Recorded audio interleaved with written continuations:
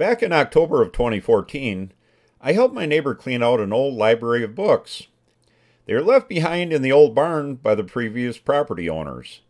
There were literally several thousand books in all. They were all dirty and dusty from years of neglect.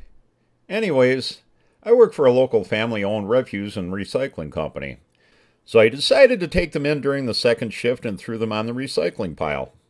While doing so in the dark, I noticed a handful of what looked like 8 by 10 pieces of cardboard. Out of curiosity, I flipped a few of them over and I took a closer look. Being a rail fan, I knew what I had here, so I gathered them and took them home. I scanned them and decided to make this short video slideshow.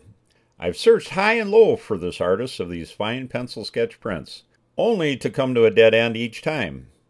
It appears that this artist's name signature is on many of these prints. Mimi Ingram, 77, was the autograph signature mark.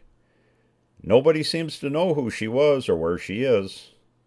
All that she left us was her name.